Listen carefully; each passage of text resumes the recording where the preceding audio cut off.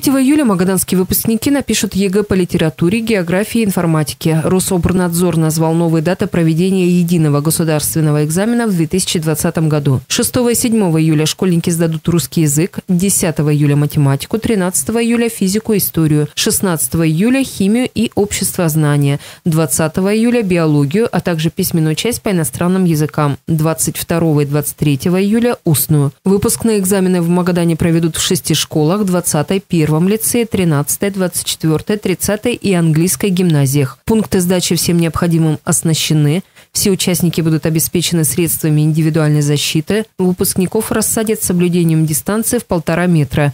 ЕГЭ в областном центре напишут 620 одиннадцатиклассников. Новые требования – это разуплотнить э, классы, где будут проходить экзамены, новые требования поставили по циркуляционным установкам, чтобы очищать воздух в помещении. Э, честно говоря, задача не из легких, вопрос даже э, не денежный. Найдем ли мы сегодня такое количество рециркуляционных установок, которые будут обеззараживать воздух в тех помещениях, которые будут проходить экзамены.